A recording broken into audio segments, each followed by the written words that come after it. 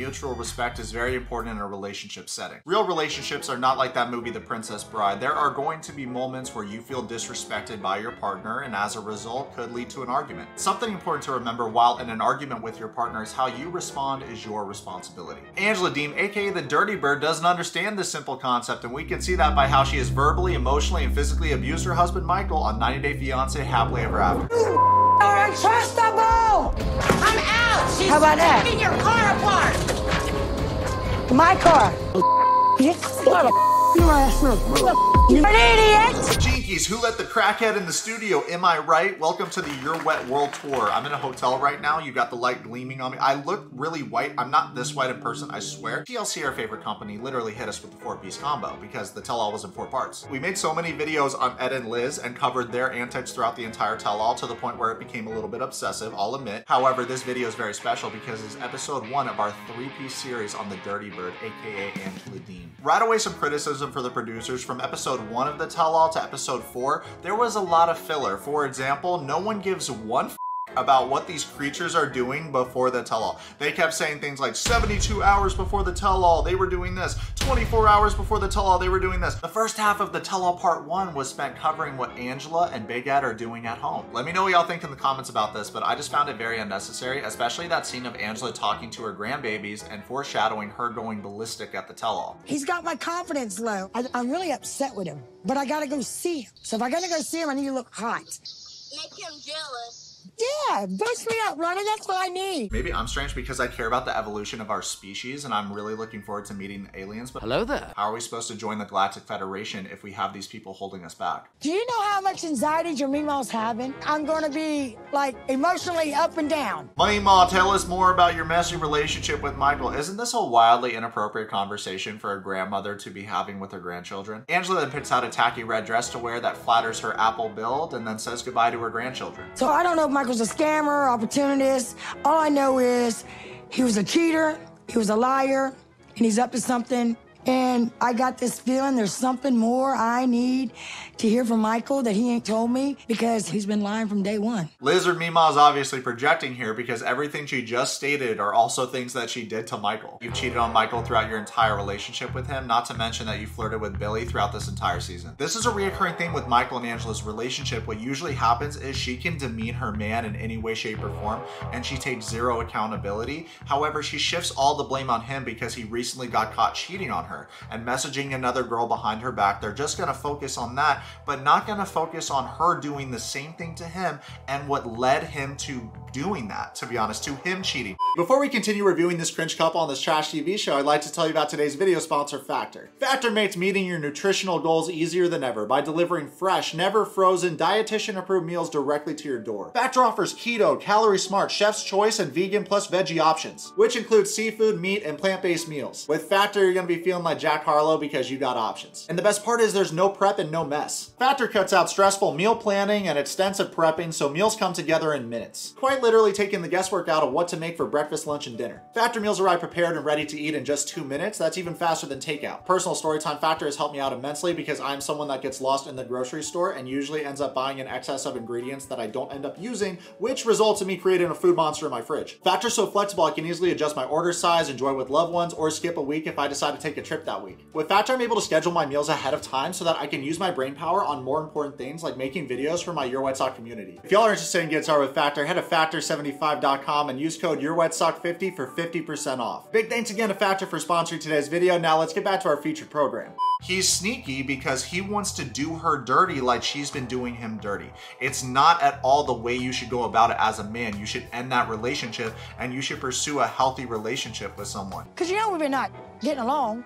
I'm just going because I'm gonna raise holy, holy Meemaw hell. How wild is this? She's bragging about the wrath of Meemaw like that's any way to conduct yourself as a woman 56 years of age, to constantly yell and be confrontational with people. I'm confident that every girl I dated while living in Hawaii would stomp Angela out. She's only confident getting in people's faces while on camera because she knows that no one's gonna stick her while they're filming. Next, she shows her fit to her daughter Skyla and admits that she's not looking forward to going to the tell-all. She's capping here for sure because every cast member I've talked to has told me that Angela's someone that really loves to be in the limelight and looks forward to being on the show. And And we can see that by how before 90 Day Fiance, she was on the Maury Show. So she's someone that has always chased the spotlight. Because I called her and I said, I'm pregnant. I said, well, who's this? I never said, Lori, shut your mouth. I'm a why- baby. why are you- Listen, Lori, chill out.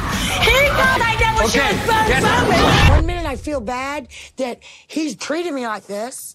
And the next minute I feel mad and want to break his neck. It's so hypocritical of her to call Michael a scammer when she also used him to get on the show. She made this man financially reliant on her only to turn that into financial domination. She stopped giving him money so that he didn't have enough money to go out on his birthday or go out on the weekend, spend money and time with friends. She doesn't want him to go out, period. She wants him to just wait around and call her and talk to her and prioritize her needs, put her on a pedestal, yet she can flirt with any guy she sees. This is something very typical that I see with narcissists. They want you to be financially reliant on them so that they can control you. Isn't it comical that when cheaters get cheated on, it's all of a sudden not fair? It's actually idiotic to demand and expect loyalty when you yourself aren't loyal. As we know, individuals who have narcissistic personality traits often lack empathy. Empathy is the ability to understand and relate to another person's emotional experiences. This is more than just not caring, they are incapable of feeling empathy for the other person because they are too focused on having their own needs being met. If you've been cheated on by a narcissist, this might actually help you. They are incapable of validating their own self worth, which is why they seek it from other people. The majority of narcissists constantly live in their ego, so they need someone to constantly reaffirm that they are special, they are different, they are unique, which is why Angela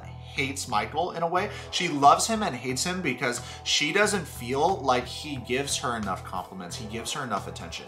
A lot of things that she seeks from Michael are things that she should be giving herself, but she's incapable of doing that because there's a lot of childhood trauma that she hasn't healed. I understand it's hard to watch Angela because she seems like a very spiteful person, but from her fight language, it's very clear that her mother dated a lot of men that had terrible fight languages. I'm talking going from a zero to a hundred, screaming, yelling, cussing, saying demeaning things. A lot of times kids internalize what they see and will like repeat the same fight language. It's like Hansel and Gretel when they leave the breadcrumbs, you have to retrace your steps and really face yourself and understand where that comes from, why you react the way you do. Why do you raise your voice? Why do you scream and yell? Why do you get violent? Why do you get in people's face? Once you figure out where that stems from and you forgive yourself, you make peace with it and you let it go, you're gonna feel so much happier. If there's a cycle that keeps repeating itself in every relationship you enter, a lot of times it's you. And if you're running away from the responsibility, you're never going to change or break the cycle. If anything, you're going to pick the wrong person, you're going to have children, you're going to do to the children what was done onto you. And we can see that by how Liz is doing to her daughter what was done to her. Except for Liz's mother had a legitimate excuse, you know, taking care of her brother with special needs and prioritizing his needs over her. She should have paid attention to both children, obviously, but for Liz, what's her excuse? Entering this toxic relationship with Big Ed, prioritizing Ed's needs over her daughter? Not as much of an excuse, right? The problem with Liz is the same type of thing. She's recreating that childhood dynamic. Eight hours before the tell all begins, we see Angela flirting with a man that appears to be an industry plant because I highly doubt any man would flirt back. Angela asks this stranger what he's doing tonight, which is wildly inappropriate given the fact that she's a married woman. Angela touches this man and says that she's too old for him. The guy responds, nah, I don't think so, and then adds that age is just a number. While this is happening, my inner self is screeching because it is appalling at the double standard in this relationship. Could you imagine if Michael did this and flirted with a girl? How do you expect to command respect and loyalty in a relationship when you yourself aren't respectful or loyal to your partner? This isn't a one time occurrence. She does shit like this to Michael all the time. She'll go out with friends, she'll drink, she'll dance with random strangers. She literally throws herself at every man she sees and expects to be treated like a princess. it's fucking haram, is what it is. Sorry about that outburst. I have a lot of Pakistani friends and they watch my videos, so I'm just trying to put on a show. Angela seems to be wildly intoxicated or on drugs. I haven't decided which one yet, but she can barely keep her eyes open while she's speaking with her friend in the elevator. She turns to her friend and says, Usman and Kimberly, and then begins to flex. She's already getting heated because I guess in the past she had a couple arguments with Usman because Usman is the only cast member that has actually called this woman out on her toxic behavior and treatment towards Michael. And you're gonna be Zen. Look, look, look. And you're gonna I be. Seen look. Well, you don't want to use it. I'm gonna use it. No, you're not. Oh, you're Oh, gonna watch be and see. I don't know why Angela's huffing and puffing. It's like when Popeye eats the spinach and he gets all powerful. Usman's not even at the tell-all, so you can't physically harm him. All this liquid courage she's experiencing right now is gonna go to waste unless she takes out all that fury that she has for Usman out on Kim and fades her right when she walks into the studio. Take no pride in being that guy, but a lot of us would be down for a 90-day fight club. Angela walks into the dressing room and says, watch this, and then starts dancing. So how she's going from being combative to dancing is just really funny to me. It just shows that she's on some good shit. One moment, I'm gonna beat everyone's ass. The next moment, hit it, hit it, get it, get it, uh, uh. Imagine this girl dancing on you at the club. My dick would be inverted. I'd turn into your wet pussy. Usman is a liar. Number one, he's puppet mastering Kimberly. I agree with Angela. Ben had known that Usman was using him, the fan, to get back on the show 90 Day Fiance. It's not even debatable at this point. It's not just Kim either. I see a lot of women on the show putting their dudes on pedestals if they're younger than them and good looking. My question to them is what value does this person add to your life?